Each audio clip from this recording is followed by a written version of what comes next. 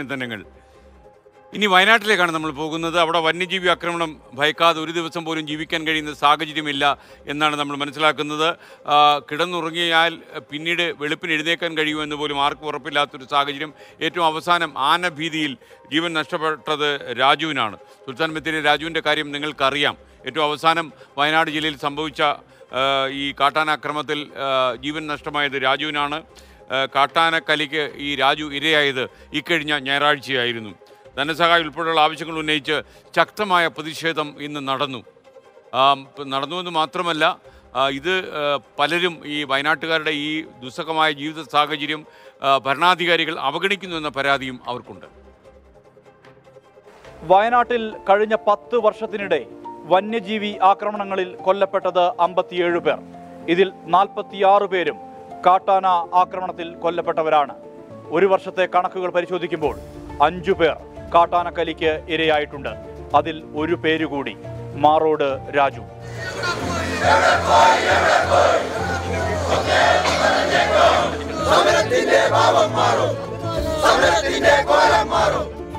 തിരുനെല്ലിയിലെ ലക്ഷ്മണൻ പടമലയിലെ അജീഷ് പാക്കത്തെ പോൾ മേപ്പാടി പരപ്പൻപാറയിലെ മിനി. ഒടുവിൽ മാറോട് രാജു കാട്ടാനകളുടെ ആക്രമണത്തിൽ ഇരയാകുന്നവരുടെ പട്ടികയിൽ എണ്ണം ഏറി വരുന്നു. ഭാര്യയും രണ്ടു മക്കളും അടങ്ങുന്ന കുടുംബത്തിന്റെ അത്താണിയായിരുന്നു രാജു. തൊഴിലുറപ്പ് തൊഴിലാളിയായിരുന്നു. ജോലി കഴിഞ്ഞ് ഞായറാഴ്ച രാത്രി വീട്ടിലേക്ക് മടങ്ങുമ്പോഴാണ് കാട്ടാന ആക്രമണം.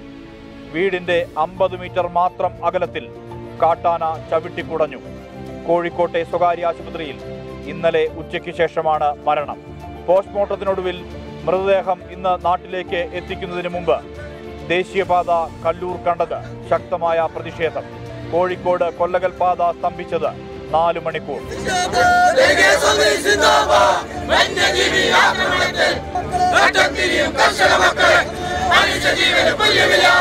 നമ്മളെ നമ്മളൊരു പാവപ്പെട്ട ആദിവാസികൾ ഒരു ഒരാഴ്ച കൊണ്ട് കഴിഞ്ഞ ഞായറാഴ്ച എന്നാണ് ഈ ആന കാട്ടാന കൊല്ലേണ്ടത്? അന്ന് എന്താ പറയുക ഒരു ഉദ്യോഗസ്ഥന്മാരെ വിളിച്ചിട്ടോ ഫോറസ്റ്റ് ഡിപ്പാർട്ട്മെന്റിന്നോ ഒരു ഉദ്ദേശം രാഷ്ട്രീയക്കാർ എന്റെ വീട് പോലും സന്ദർശിക്കാത്ത മാറോട് ഞാൻ ഇവർ ഇവർ ഇന്ന് വാഗ്ദാനം പറഞ്ഞു പോകും. നാളെ അതാണ് സ്ഥിതി ഇവിടെ കണ്ടിരിക്കുന്നത്. ഇന്ന് വാഗ്ദാനം പറഞ്ഞു പോയി താൽക്കാലം ജോലിയായിരിക്കും.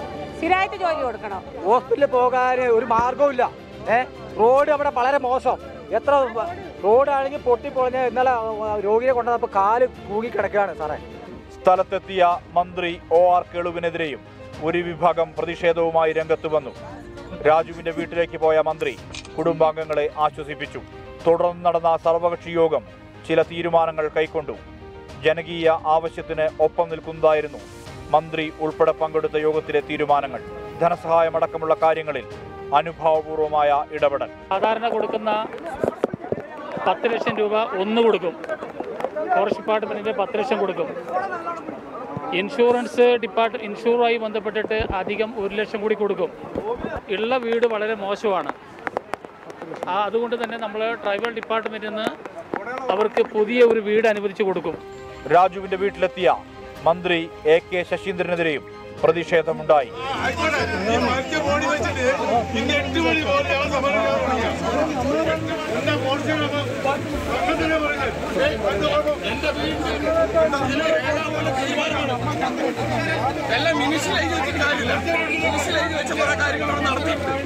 ഇനി ഒരു രാജു ആവർത്തിക്കരുത് എന്ന് പറയുമ്പോഴും വന്യജീവികളുടെ കാടിറക്കം തുടരുകയാണ് വയനാട്ടിൽ.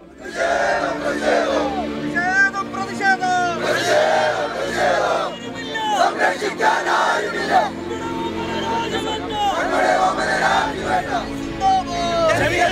സിന്ദാബാദ് വന്യമൃഗങ്ങളുടെ കാടിറക്കത്തിന് ശാശ്വതമായ പരിഹാരം വേണം. ഇതിനായുള്ള കർമ്മ പദ്ധതികൾ ആവിഷ്കരിക്കണം. ഈ ആവശ്യമാണ് പൊതുജനം ഉന്നയിക്കുന്നത്. മനു ദാമോദരനൊപ്പം സുർജിത് അയ്യപ്പത്ത് ട്വന്റി ഫോർ വയനാട്. പൊതുജനം കഴുതയല്ല സാർ. ഒരുപാട് പരാതികൾ പറഞ്ഞിട്ടും കൂടെയുള്ള ആളുകളുടെ ജീവൻ നഷ്ടപ്പെടുമ്പോൾ അവിടുത്തെ വയനാട്ടുകാർക്ക് വല്ലാത്ത പ്രതിഷേധമുണ്ട്.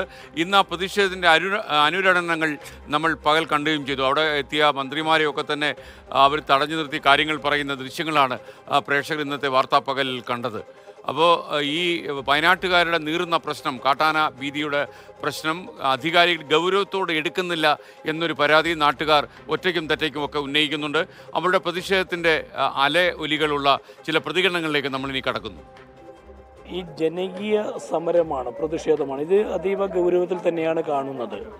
ഈ പ്രതിഷേധം വളരെ ഗൗരവത്തിൽ കണ്ട് കേന്ദ്ര സംസ്ഥാന സർക്കാരുകളും വകുപ്പും ഡിപ്പാർട്ട്മെന്റിൽ ഇടപെടേണ്ടതുണ്ട്. ഇതൊരു നിത്യസംഭവമായി മാറിയിരിക്കുക നൂൽപ്പുഴ പഞ്ചായത്തിലെ മാത്രം പ്രശ്നമല്ല ഇത്. വയനാട്ടിൽ ഇതൊരു തുടർ സംഭവമായി മാറിക്കൊണ്ടിരിക്കുകയാണ്. പക്ഷേ ഇതിന് ഗവൺമെന്റിന്റെ ഭാഗത്തു നിന്ന് ഒരു ശാശ്വത പരിഹാരമാണ് ഉണ്ടാവേണ്ടത്. അത് കേന്ദ്ര ഗവൺമെന്റ് ആവട്ടെ കേരള ഗവൺമെന്റ് ആവട്ടെ അത് രാഷ്ട്രീയമല്ല. പക്ഷേ ഇത്രയും വലിയ രൂക്ഷമായ വന്യമൃഗശല്യം ഉണ്ടായിട്ട് ഇതിനെ ശാസ്ത്രീയമായി പരിഹരിക്കുവാനും അതുപോലെ ജനങ്ങളെ ആശങ്ക അകറ്റുവാനും മൃഗങ്ങൾ നാട്ടിലേക്ക് ഇറങ്ങുന്നത് ഫലപ്രദമായി തടയാനും ആവശ്യമായ ഫണ്ടോ സംവിധാനങ്ങളോ ഇല്ല.